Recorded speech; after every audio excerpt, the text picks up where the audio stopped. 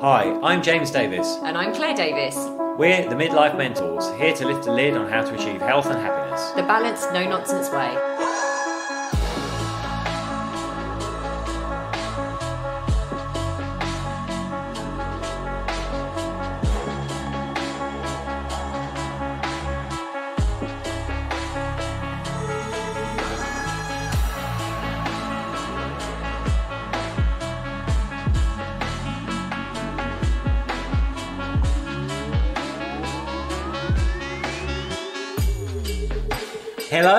And welcome to the Midlife Mentors podcast. I'm James. I'm Claire, and today we are doing this from Ibiza. It's blowing a hoolie outside yet again. James is potentially sitting in his pants doing this, but we won't go into that. Don't tell people. He's not really. Uh, I just wanted to make you feel uncomfortable. But today we are going to talk about habits and the habits that will keep keep you healthy in both body and mind. but not just about good habits to cultivate, we're also going to deal with bad habits and how to break them or adjust them. Because uh, we do all have them, these things that will come into our life and cause us a little bit of distress, throw us off course. So, the way we're going to format today's podcast is talk a little bit about some of the bad habits that some of you might have, that we certainly have had, sometimes still do have. uh, and then in the second half, we're going to talk about how to cultivate new positive habits. Yeah, as I said, we're perfect, so we don't have any bad habits. No, but these are actually what we want to do here is make you. This is the kind of purpose of that entire podcast series, really, is to make you feel like you're not alone, to make you feel that you know you are understood. And these are the habits that we come across all the time um, with clients, um, you know, so forth. So what we want to do is share them with you, talk to you about the impact they are having on your mental and physical health, and then, as James said, talk about some ones to potentially replace them with or cultivate new ones.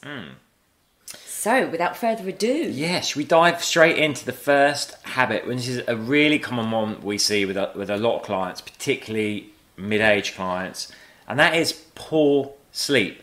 Um, and that can play a massive part in your life. Uh, if you're not getting a good night's sleep, you probably know how grotty you can feel the next day, um, how you're going to perform worse at whatever you're doing, whether that's going to work, being around the house. You know, you can just feel terrible off the back of a bad night's sleep. And for some people, it can become a chronic condition as well. Absolutely. So the habit is basically just going to bed too late. Um, and James and I do not suffer from this one, okay?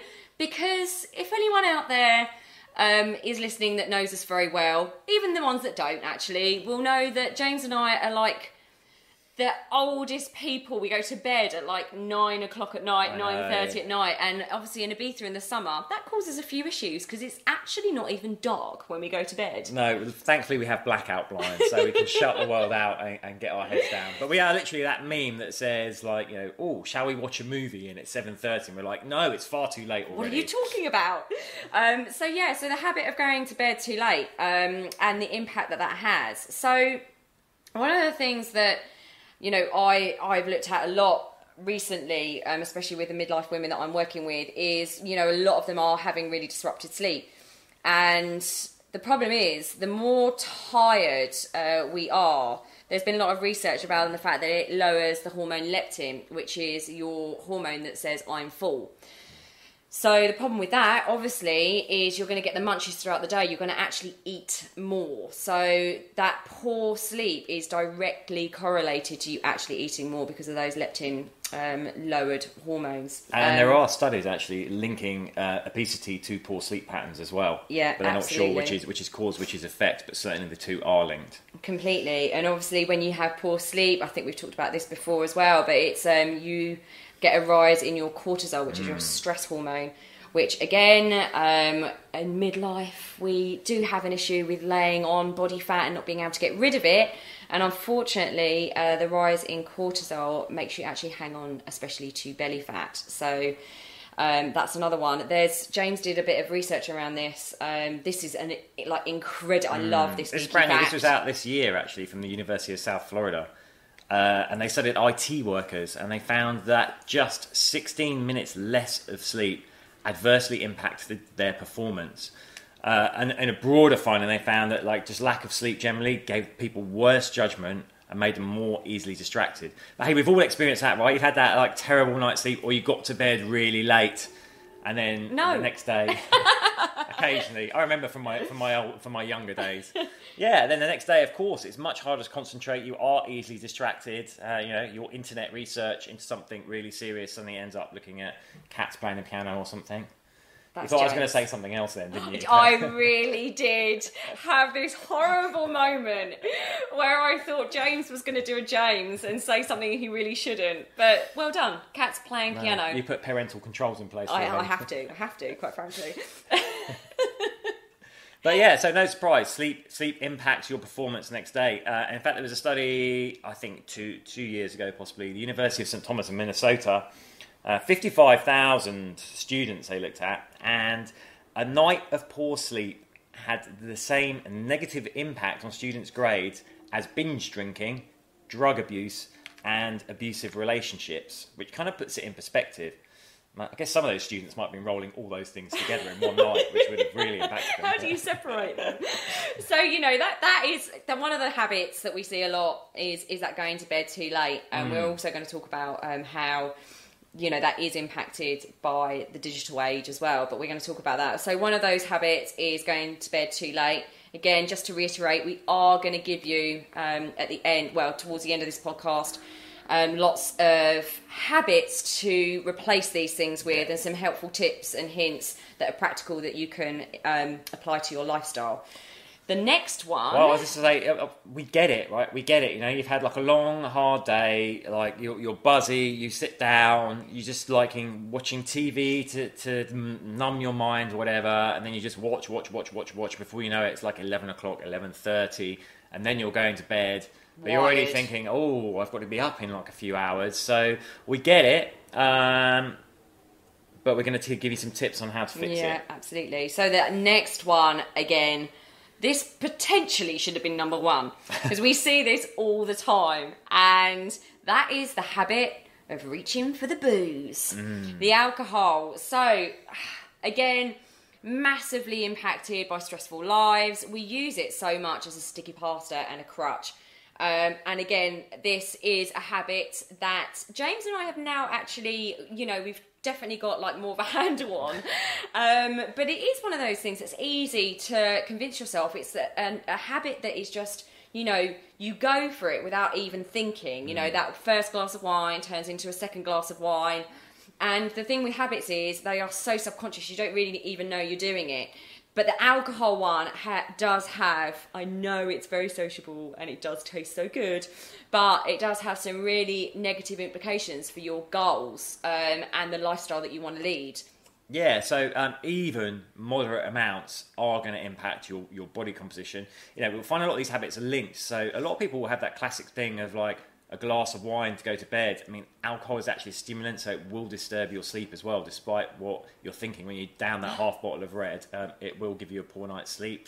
Um, also, it has a hormonal effect on the body. So again, it's going to play around with your leptin and ghrelin levels, which means that the next day you're going to be more inclined to reach for starchy, sugary foods, uh, and you'll feel more hungry than you would do normally. Uh, it can adversely affect your mood. It's actually a depressant. I know, like the first drink can normally make you feel really good, but uh, you know, over time it actually brings you down as well. Which also sounds very gloomy. I mean, a drink we love a drink, so um, We do like a drink. it's it's when it becomes like a regular habit, it is going to impact you psychologically and with your body goals as well. Absolutely. So, on to the next one. Let's talk about food and comfort eating late at night. Again, this is all around lifestyle, and this is one emotional eating. I did a post on this recently, but emotional eating is one of the really, really difficult issues that we're dealing with, um, you know, into today's society, it can be driven by boredom, it can be driven by um, loneliness, it can be driven by stress, anything. But it's a really, really common thing now is comfort eating. Um, and I have to say, it's more common actually late at night because obviously we're on the run all day, we've got busy lifestyles, and then late at night, um, the habit is to reach for something that's quick, that you don't have to think about, but that's actually going to make you feel good. And that's why we often go wrong is with the carbohydrates because actually it increases the serotonin in the brain. So basically, you're reaching for something to make you feel good, to lift your mood, um, to to release that stress that you've had during the day.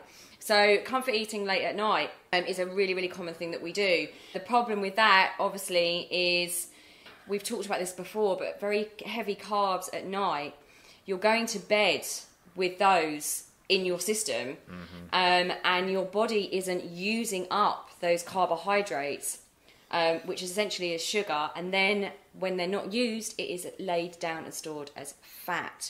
So again, this is this is a habit that is really going against your your body goals, your health goals. Um, you know, so that's well, that's one of the problems. You can talk about like it may be eating at your desk on the run as well. Like this is another thing we hear clients say all the So time. there's another thing, you know, we, we live busy lives in the modern age and we tend to like rush our daytime meals now. I think very few of us actually have time to sit down and have a long leisurely lunch.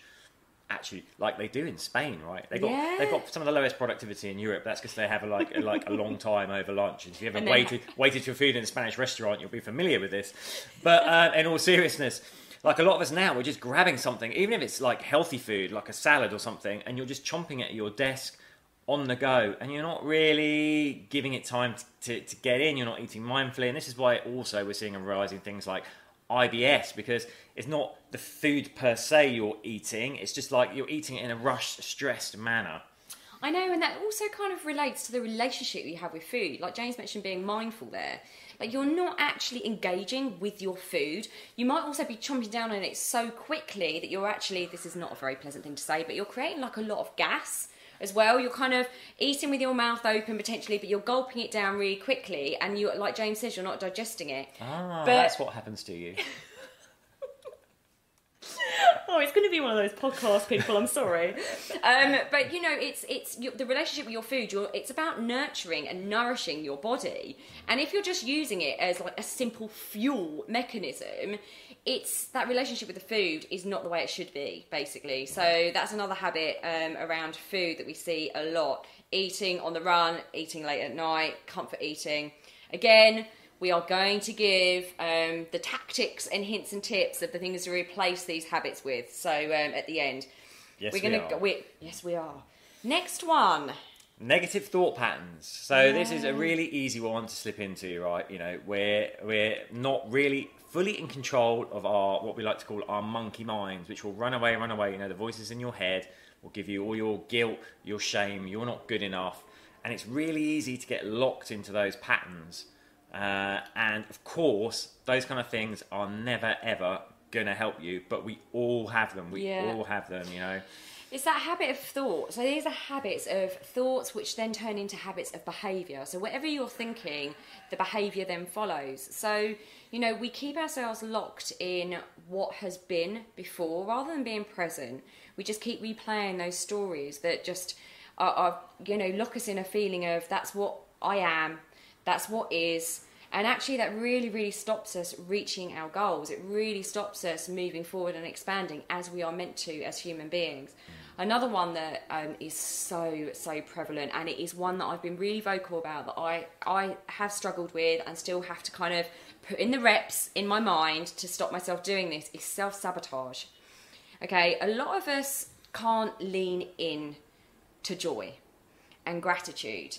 We can't actually lean into believing that things are going well and things are changing and that we are doing well.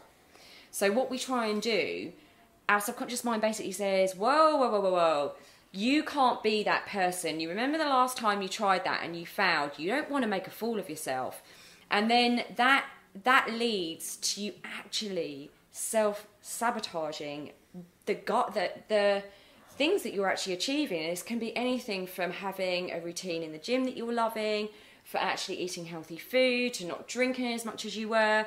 You know, we keep ourselves locked in that habit of thought and mm. behavior and you know we've got all sorts of little things that we do to pull ourselves back there constantly Next habit we're going to touch on is the habit of digital. Slightly ironic, you're probably listening to this on a digital device, and there there is a lot of good that can be out from digital. But um, I think too much with social media we're forced into a state of comparison.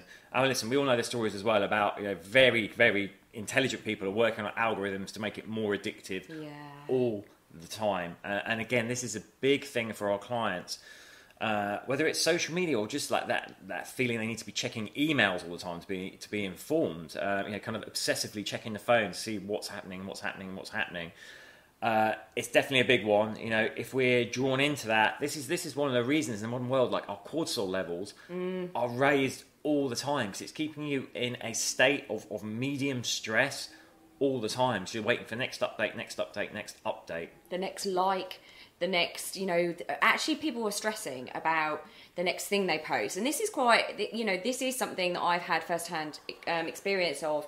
You know, a couple of years ago, I was getting incredibly stressed, wasn't I, James? Like, incredibly stressed. I do the social media for 38.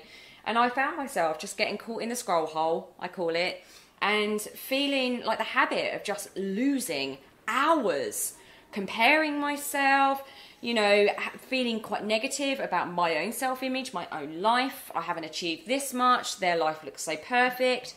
And, you know, it's a habit that these are all things that we need to, everything we're discussing are things that you need to bring awareness to, okay? Awareness is power. That's why we're talking about them, to let you know that they're really common, that everyone out there is experiencing them, and that actually there is something that you can do. This is all in your mm. control. This is not out of your control, people. And the the world of the digital is having such a negative impact on our mental and our physical health. You know, the whole body dysmorphia um, is rising. We've got young children uh, with more eating disorders than ever before, male Uh, and well, female. yeah, teen depression is, is like increasingly massively all the time, and that's all being driven by social media. Um, and these are habits of behaviour. They are not out of your control. Um, so again, we're going to give you hints and tips on this. But um, yeah, two just, more two more bad habits to go, and then we'll get on to the positive stuff. So um, the ne- next one we, is something that's really common with our clients is the not having time excuse, which really is a habit of poor time management. You know, we know you can uh, change your body composition 15 minutes a day regularly. And people say they haven't got time time to do that, but actually, if you add up the time you're you're spending, like watching Netflix, just watching Yeah. like mindless television, you have got time in the day to achieve something and make changes. It's just like the perception you have is that I don't have time. Absolutely. And I always say, I can't find the time to do it. Well, that's because you're looking for it. You don't find it, you make it. Mm-hmm. And that's the difference between people that get what they want and the people that don't get what they want. And that's a really harsh thing to say, but it's so, so true. And it's true with your health, your career, anything. You don't like find it. It's not going to lift, you're not going to lift up a book and go, oh, there's more time. You know, you have to make it. Um, and that's something that I feel really, really strongly about, as you can tell. Got a little bit aggressive there. Yeah. okay, the, la- the last second habit is also a really common one. We, we even do it ourselves. We're getting much better at managing it, but is the habit of going full throttle, then all off, uh, which it basically boils down to impatience, right? You know, you suddenly decide you want to achieve something. It might be a body goal, it might be a work goal, it might be a personal goal, and you go all out Hell at it. Ugh, but then you're neglecting other areas of the life. Then again, guess what happens? You you pinging that elastic band out, out, out, out, out to the point it's reached full stretch, and you go boing back. Um, And hits you in the face. hits you in the face, and we see this all the time. The kind of yo-yo, Yeah. um, and people just getting stuck in this like mindset, and then like all the guilt and shame of not having achieved sets in. Totally. So and it's it's about being realistic. This is the thing, like it's about being balanced and realistic. It's the same with anything. You go full throttle with like working, you know, 55 hours a week, whatever, like not getting any sleep, you are going to rebound in the opposite direction. You go to the gym when, you know, every morning, five times a week when you never really used to. You know, of course, if you're going full on, then full off, full on, full off, there is going to be repercussions. And that's why we say a balanced approach, putting it as part of your lifestyle that's realistic for you. Which brings us nicely Yay. into the good stuff, the positive stuff, the habits to Yeah. cultivate. So we're, we're going to run through those bad habits again and give you some tips on what you could be doing to adjust them, break them, change them, so your life's better in essence. So the first we look at is the the sleep one and bed. And of course the obvious obvious thing to say is just go to bed earlier. Yeah.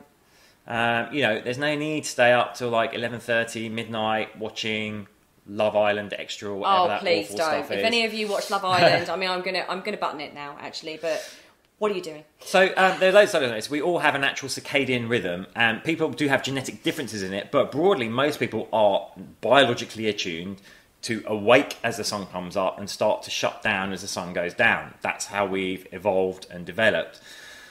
Now, obviously, if you know you've got to get up at six for work every morning, but then you're staying up till midnight, guess what? You're not, not getting enough sleep a night. Most studies show you need between seven and a half and eight and a half hours sleep. More than that starts to be have negative repercussions. Less than that, negative re- repercussions. Again, everyone's different, but those are the broad guidelines: seven and a half to eight and a half. So just make sure if you know you've got to be up at a certain time, go to bed at least 45 minutes before the time that would give you eight hours of sleep. Sounds obvious, but do it. And just on that, I'm actually going off piste. Sorry, James. Um, on on the whole going to bed earlier and kind of getting up earlier. One thing I would say, um, I have discussed this before, but I was the sort of person that I, I did actually consider myself as quite a night owl. Um, which by the woo, by the by the woo, By the woo. by the woo, by the way, is um, just really an excuse for um, not getting up earlier and actually being a bit lazy, to be honest, and actually not taking responsibility for the fact that that was in my control to become a morning person. You can, you are a morning person, you can become a morning person. And with regards to exercise, you know, there are loads and loads of studies that if you get up and you exercise in the morning, you, I mean, apart from the fact that you feel awesome, um, and then you get that kind of like serotonin kick, the feel good hormones that kind of pump through the body. There's also loads of studies that say you eat less throughout the day. Um, you are on the health train, so to speak. As soon as you get up and you do that, you're on the health train. You don't want to ruin it. So that's one of the things that I would say from personal experience. I have trained myself to become a morning person, to go to bed earlier, to become a morning person, and actually I feel so much better for it. And it's yeah, it's one of the things that I would totally recommend. And you see, a lot of these are going to be interlinked. So I'd say, in terms of sleep hygiene as well, try not to eat anything two hours before you go to bed. Don't drink the alcohol, as we discussed. Um, switch off from anything that's going to stimulate you, which includes blue screen, social media, at least two hours before bed as well. And then make sure you know your bed's comfy, the right temperature is your bedroom, and that it's as dark as possible. Clean your sheets. Clean your sheets on a, on a regular. This was actually a tip that was given to me by a very good friend, saying these are one of the. You know, he listens to the podcast and said, "I change my sheets regularly because I like getting into bed and it's a nice experience. So anything that makes sleep a lovely experience, we're all for." Back onto the booze. The booze. Um, the the drinking. So one of our tips for uh, we know that a lot of you out there um, have busy lifestyles. You're working, you're traveling for work, you have to socialise for work. Alcohol, um, sadly, is part of our culture. Um, and there's a real pressure to, to drink um, a lot, actually. So, what we always say to clients is if you know on a Sunday, if you can look at your week ahead and know when those times are that you are going to be out and about and you have to socialise, plan them. Mm. So know they're happening. Go in forearmed, knowing what your how many drinks you're going to have. Like literally, kind of plan when that's going to happen. What you're going to drink, how many drinks you're going to have, so you feel in control.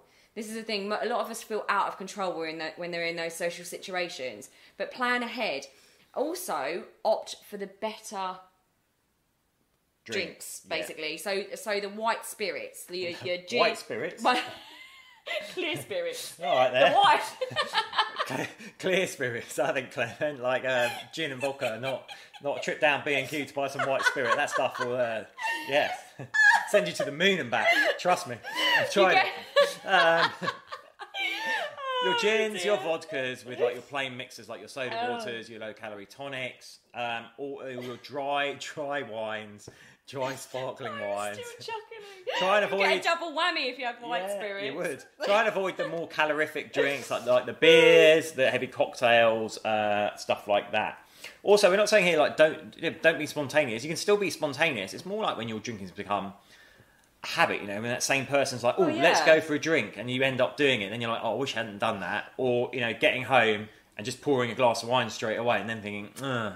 So leave room for spontaneity, of course, but just just try and plan it and be a bit more thoughtful about it. Yeah, and if you're, you know, you get home, you drink with your partner and things like that. Actually, just use use each other as a bit of an accountability um, piece as well because basically you're feeding off each other. So if one of you says, "Look, sweetheart, we're only going to drink two nights this week. That's it. On Monday to Thursday, we're not going to drink."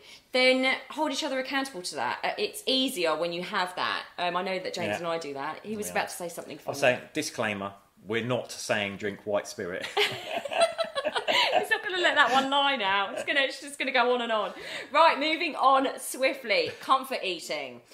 Really interestingly, um, again, this is about planning your meals. So a lot of time, people that it's that kind of emotional eating, comfort eating when they get home because they are just reaching for the nearest thing without having planned it. So again, like the alcohol, make sure that you are you are in control. Take responsibility. Plan your meals ahead, and everyone can do this. Mm-hmm. So yeah, people go wrong is where they haven't planned. I've done this. Look, you've all intention of eating healthy all week, but you've forgotten to buy the food. You're coming home late. Uh, suddenly that that chicken korma meal deal for one that comes in a plastic bag you put in the microwave looks amazing with its naan bread and everything all in. But of course, that's going to derail you. Um, say the other thing is just be sensible in your eating. Like, you know, it's, it's all one thing to have goals and have sensible eating patterns, but if every meal's leaving you really hungry, listen, there's no point eating, you know, a 400 calorie salad at lunchtime if by two o'clock you're going through a packet of custard creams. Yeah, and that's actually also related to the alcohol thing. I, I have seen this a lot. Please don't be in the habit of saving up your calories from food just so you can drink the wine. This is bad, okay? The other thing we say on eating is make sure you're drinking enough water. And we probably need at least two litres a day. Um, a lot of the time when we think we're hungry or when we think we're tired, interestingly, it's actually like mild dehydration. So keep the water topping up. have you said have, have healthy snacks to hand? Oh yeah, have healthy snacks to hand have as well. healthy snacks to hand. And also one other thing as well. Um, if you do go home I, I know this when i lived on my own as well. I'd go home and you know eating is a great distraction actually for being bored as i've said or feeling a bit lonely or feeling a bit low. And another thing on um, the distraction, I know I've mentioned this already, but with the comfort eating, sometimes we do that when we're um, bored, when we're feeling a bit low or a bit lonely. Um, and one of the great things to do, I know I did this when I used to live on my own, was actually try and find a distraction other than just reaching for the cookies. Um, and I actually did this. It's a good little tip write out some of the things that you enjoy doing. So, for example, for us women out there, it could be like painting your nails, it could be uh, phoning a friend, it could be organising a massage, it could be reading a magazine.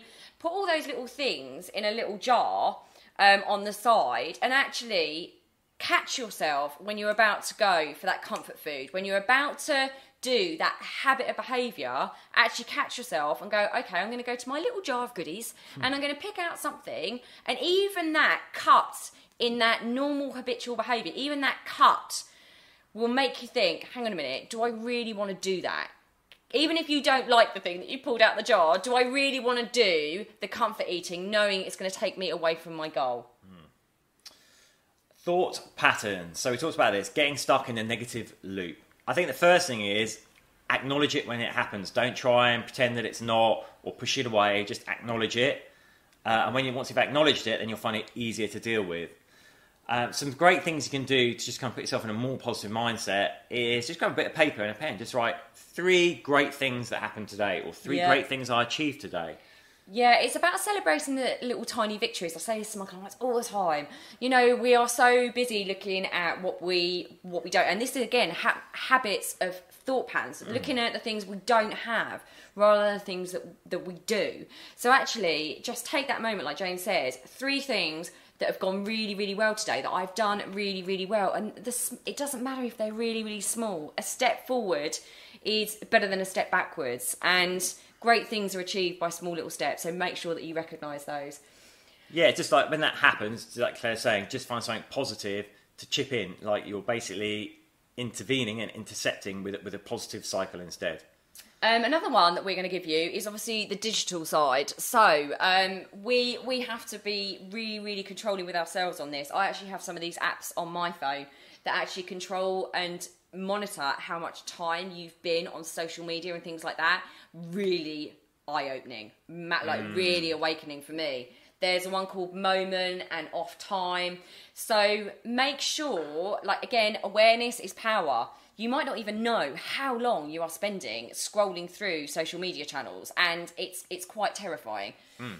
Also, clean your feed. So, listen, a lot of us don't take the time to do this, but you know, over the years, probably added stuff, added people, added stuff, and you see these things coming up, and some of that stuff will annoy you on a regular basis. Yeah. And here's it, hands up, I admit it. Sometimes we even get off on being annoyed by it. Think, oh, there's that annoying thing again. Yeah, it's not helping you. No. So just you know, flick the thing. You go, I don't want to see this. It will disappear from your feed for good.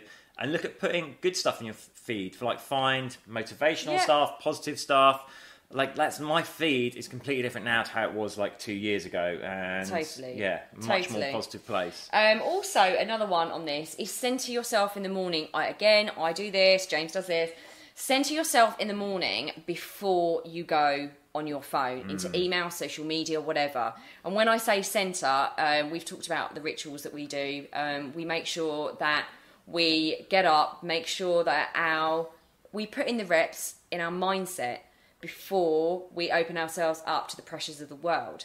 Control your mindset, and you're going to win throughout the day. I can't tell you Yeah. like how much this has had a positive impact This in our one life. is so so important. Listen, if you if you wake up and we, this happens with so many clients, and we used to do it. If you wake up and the first thing you do is reach for your phone to see what's there, you've already like given control Yes. of your mood to an outside force. Yes. Like just don't look at it. Don't look at it. Center yourself first. Yeah, stay in your own lane. Mm. Here's the thing stay in your own lane, know what your day's going to look like, be intentional before you go out into the world, and that means the digital world. Last thing on this, uh, linked back to the first one about bed. Just just don't look two hours before bed. Two reasons. Number one, it'll just help you calm down and switch off. Number two, the blue light from devices actually stimulates your awake hormone. So we want to just stop those two hours before bed. Yeah, absolutely. And it also, James talking about that cortisol rise. You know, we don't want to be doing that before we go to bed, and that whole stress of looking at the phone raises your cortisol.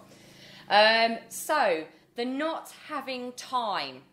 Ah, the habit of saying you don't have time, or actually filling your time with useless things.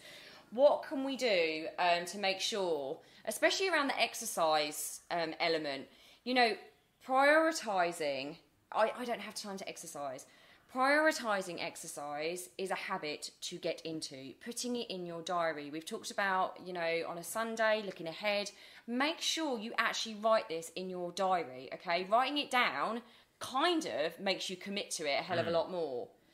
And I'd say it's not just exercise. We obviously came from the exercise perspective, but anything you want to achieve, you know, you can just chunk that thing down. You want to write a book, chunk it down Mm. for like 15 minutes a day. Okay, it might still take you a long time, but in a year, you'll be much farther ahead than if you just spent those 15 minutes watching television. Yeah. So just chunk things down. And also, James and I plan our day ahead. So we look at the week ahead and then we plan out the night before, we plan the next day. And actually, if you're really not sure about where you're spending time, do a timesheet. Mm. I know this sounds like, but in your, you do it at work, probably, perhaps. Why aren't you doing it for other areas of your life as well? So find where you can make the time not find the time, make the time in your life for the ex. Like James said um, earlier on, 15 minutes three times a week of doing some, some form of exercise in the morning is all you need. That doesn't take very much time. Prioritize it. Which leads us nicely to the last point, which kind of is, is a summation of all of these, I guess, which is, you know, the full on and then not. It's about actually just living your life in balance, um, which is what all these habits relate to, like not, not being extreme in one side or the other, Yeah. but finding the rhythm and the routines that work for you to help you lead like a calmer, balanced life and help you achieve your goals sustainably. Yeah, because I think when anything's out of whack, when you're focusing too much on, for example, the exercise, too much on like dieting, too much on work, too much of when anything's out of whack, you're going to be out of whack. Mm. Um, and your habits are just going to be, they're going to be leading you. So the whole point of this podcast was basically to let you know that we all, all of us, lovely people out there, have these things that are going to take us off our goals. They are patterns of behavior, habits of thought that, you know, that are all there for every single person. And it's just bringing awareness to it, making you realize that, you know, you're not alone. And then hopefully just giving you some hints and tips that we use and our clients use that can just start to adjust. You know, don't expect everything overnight. Don't expect too much of yourself. Even if you take one of these, it can start to shift your life um, dramatically for sure. And even if they feel like awkward at first, just stick with it. You- You can't do something once and expect it to have worked. You need to just keep going with it, keep going with it, keep going with it until it does become a new habit, and it will do. And that's the thing. Be patient with yourself. Impatience is what drags most of us away from the things we want to be, do, and have in our life. So be patient with yourself. Adopt one or two of these. And as always, we would love your feedback. We love your support. Please reach out to us. Let us know what you want to hear more of. And that's it for today. Thank you so much. Thank you. Sending so much love. Bye.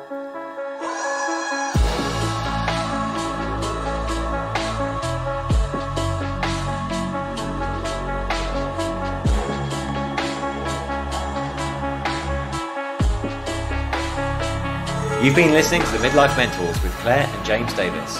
We'd love to hear from you. So drop us a line at info at themidlifementors.com with any questions or topic suggestions. And make sure you join us on our Facebook page and YouTube channel. You can find us under the Midlife Mentors.